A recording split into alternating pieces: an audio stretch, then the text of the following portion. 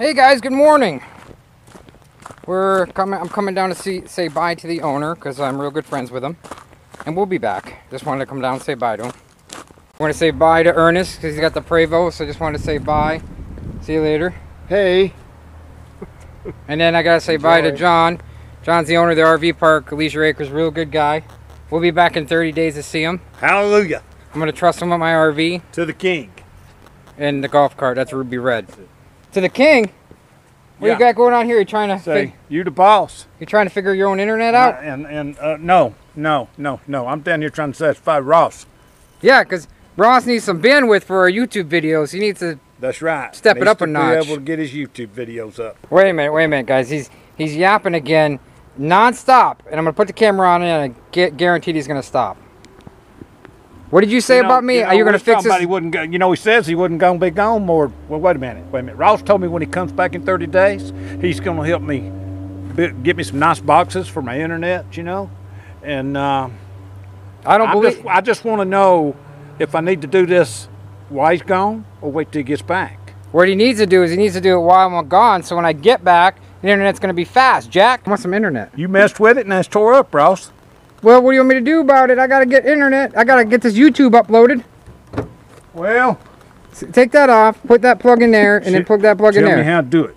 All right, put it reverse. Take that off. Watch your fingers. You're gonna put the drill through your fingers.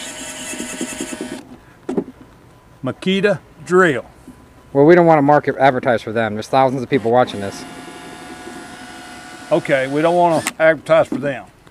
I'll tell you what, guys. I do. I do. I, I, I will say that the Leisure Acres Park, it's a pretty nice park. I mean, if you just look around, right.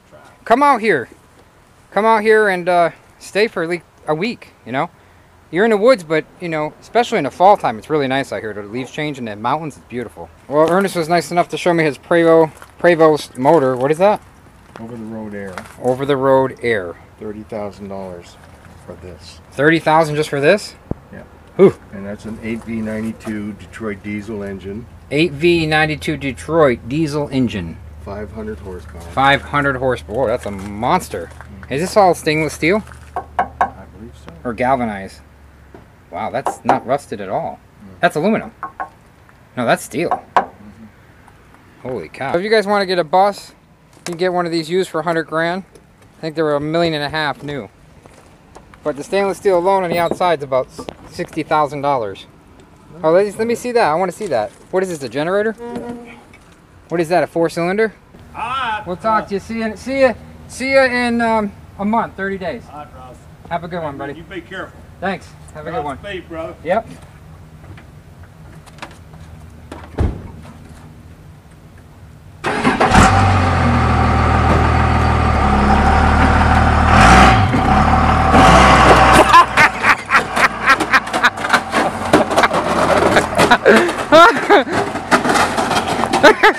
Hold on. he's still, he's still drinking.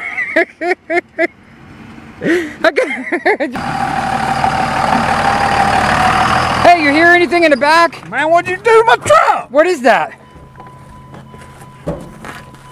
Now you're not gonna punch me or anything, are you? There's nothing in the back. Hey, wait! Don't look back there. Do you have mirrors in your truck? Mirrors. The? Sorry about that, John. Have a good one. Well, we're gonna put some Rain-X on the. Ernest, let me have a little spurt of Rain-X on the windshield on the rig because it might rain tomorrow and the wipers kind of slow. So it's a good thing to do. And I'm gonna grease underneath the front real quick with a little rag, little thing to lay on. Put some grease in there. I don't know when the last time anything was greased, so you just don't know. You got to do it. Yep. Got that windshield all done.